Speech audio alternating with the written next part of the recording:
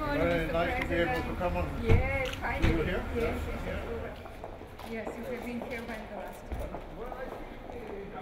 Protect the educational. My office, unfortunately, it's a bad weather. I cannot show you the uh, Eiffel Tower is hidden. We have enjoyed uh, experiencing some winter in Paris. We haven't had much of it in my country, so Once again, I would like to say that I enjoy very much uh, our joint participation in an important debate on oceans.